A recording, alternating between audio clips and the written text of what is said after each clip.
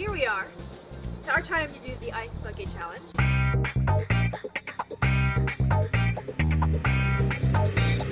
I realize we're a little bit late to the game, but you know what? That's okay. It's for a good cause. It looks like a lot of fun. And it doesn't matter when you get involved in something, as long as you get involved.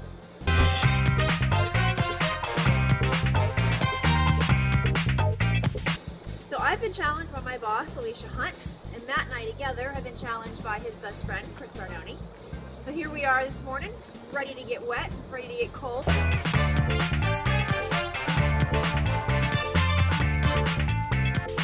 For ALS, or Lou Gehrig's disease, Matt coming in with a bucket of water.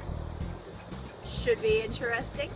The awesome thing about research is research doesn't help just people with ALS or people who might get ALS. It helps everybody.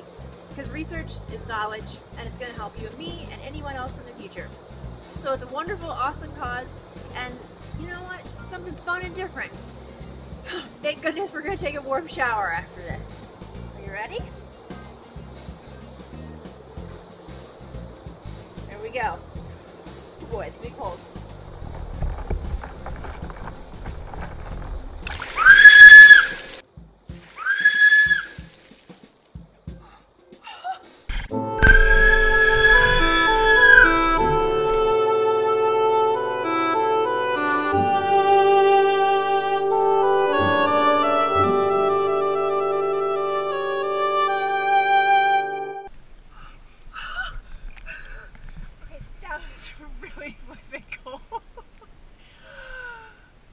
Oh my gosh, how fun was that?